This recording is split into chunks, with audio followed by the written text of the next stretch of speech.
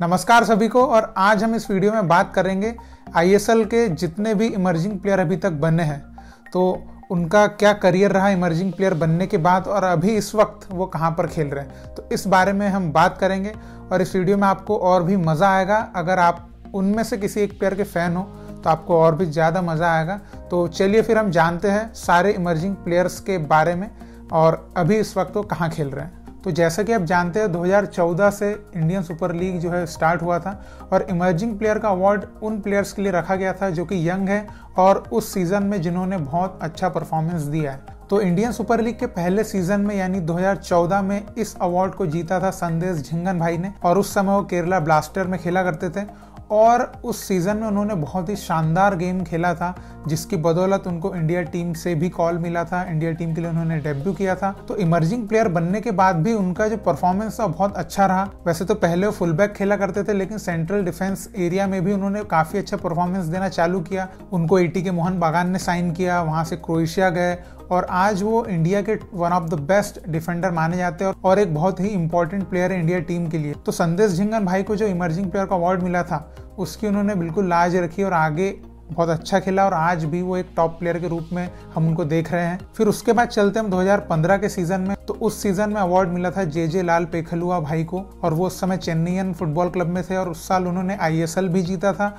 और उस साल वो टॉप स्कोरर लिस्ट में भी थे छह गोल के साथ। लेकिन उस समय उनको जो अवार्ड मिला था emerging player of the year का, ये मुझे कहीं ना कहीं लगता था कि उनको नहीं देना था। उसके पीछे वजह यह है, एक तो वो 25 साल के थे और इमर्जिंग प्लेयर का मतलब होता है कि कोई अंडर 23 का प्लेयर और वो 25 साल के थे और उनको वो अवार्ड दिया गया था और ऊपर से वो पहले ही इंडिया टीम के भी प्लेयर थे मतलब पहले से ही जाने माने खिलाड़ी थे। लेकिन फिर भी आईएसएल कमेटी ने उनको अवार्ड दिया था तो हम बिल्कुल रिस्पेक्ट करेंगे उसकी। और फ़िलहाल जे जे भाई इंजरी की वजह से किसी भी क्लब में नहीं खेल रहे हैं, लेकिन हम आशा करते हैं कि वो जल्दी वापस आए, क्योंकि वो एक बहुत ही अच्छे प्लेयर है और इंडिया टीम को भी उनकी ज़रूरत है और क्लब में भी उनकी ज़रूरत है। फिर उसके बाद हम चलते 2016 के सीज़न में तो उस सीज़न में इमर्जिंग प्लेयर बने थे जेरी लाल लालरेंजुआला और उस समय चेन्नईन फुटबॉल क्लब में थे और काफ़ी अच्छा परफॉर्मेंस उन्होंने दिया था। और उसके बाद उनको 2017 में इंडियन टीम से डेब्यू भी मिला था, लेकिन वो उतनी कंसिस्टेंसी नहीं रख पाए इंडिया टीम के लिए तो ज़्यादा इंडिया टीम से उनको चांसेस मिले भी नहीं। और 2016 में जो उनका अवार्ड मिला था, मुझे ऐसा लगता था कि और भी कई प्लेयर्स थे जिनको इमर्जिंग प्लेयर का अवार्ड मिल सकता था, जैसे कीन लुइस भी थे। वैसे तो कीन लुइस उस समय 24 साल के थे, लेकिन 2015 में जे जे भाई को तो 25 साल की एज में मिला था अवार्ड तो कीन लुइस भी डिजर्व करते थे, लेकिन अब जेरी भाई और भी यंग थे तो हो सकता है कि उनको अवार्ड दिया गया हो। और अभी जेरी भाई चेन्नई एन में खेलते और बहुत अच्छा परफॉर्मेंस वो दे भी रहे हैं, और पिछले कई सीज़न से भी उन्होंने बहुत अच्छा परफॉर्मेंस दिया है, लेकिन वो इंडिया टीम के लिए अपना वो परफॉर्मेंस नहीं दिखा पा रहे और अब तो उनकी पोजीशन भी लगभग जा ही चुकी है इंडिया टीम में। फिर चलते हम नेक्स्ट सीज़न में, वो है 2017 का सीज़न तो 2017 के आईएसएल का emerging player of the year का अवार्ड मिला था लाल रुअत थरा को।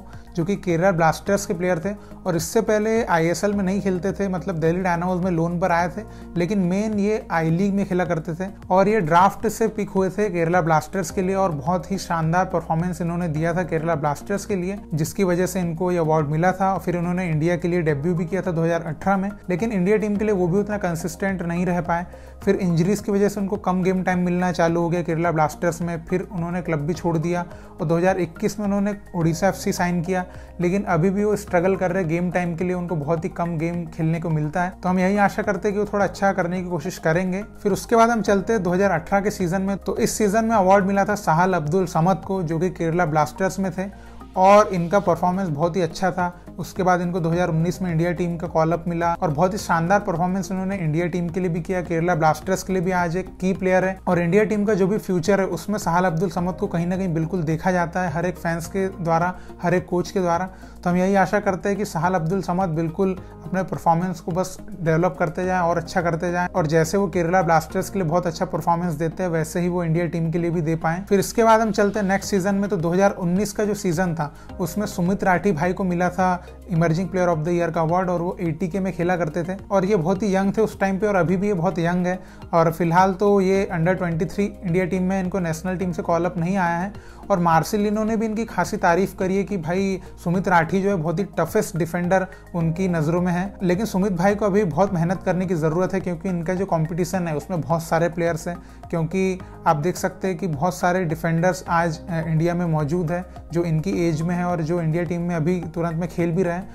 तो हम यही आशा करते हैं कि सुमित भाई बहुत अच्छा हार्डवर्क करेंगे और आगे वो इंडिया टीम में जगह बनाएँगे। फिर इसके बाद हम चलते हैं 2020 के सीज़न में। तो इस सीज़न में जिन प्लेयर को अवार्ड मिला है उनका तो आज पूरा भारत दीवाना है और वो है लालंग माविया राल्टे यानी कि अपुया और पिछले साल नॉर्थ ईस्ट यूनाइटेड में थे तो वहाँ पर उनको अवार्ड मिला था और इनको ये बिल्कुल डिजर्विंग अवार्ड मिला था।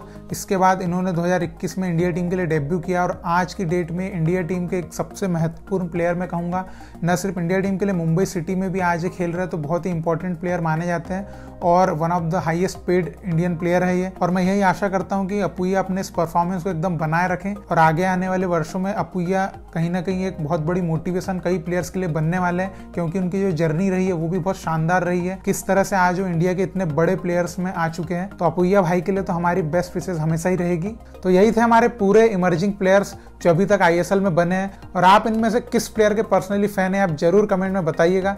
मैं तो भाई अपुया भाई का बहुत बड़ा फ़ैन हूँ मतलब एकदम मज़ा आ जाता है उनको देख के।